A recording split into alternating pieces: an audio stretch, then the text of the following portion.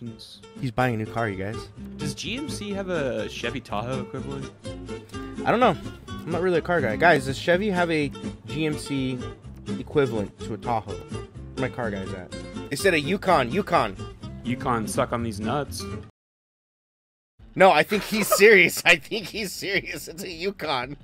It's actually a thing. Look, I swear. Why would we lie Yes, to you? GMC Yukon. The Yukon. Yes, but Yukon suck on these nuts.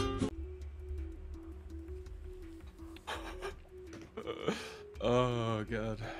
Yes. 2022 model looks pretty good. They have an XL Yukon also.